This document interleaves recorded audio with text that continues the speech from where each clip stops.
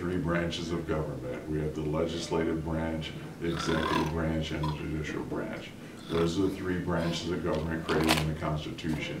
The legislative branch, their job is to make the law. The executive branch, their job is to enforce the law. And the judicial branch, their job is to interpret the law. Who knows which Whoa!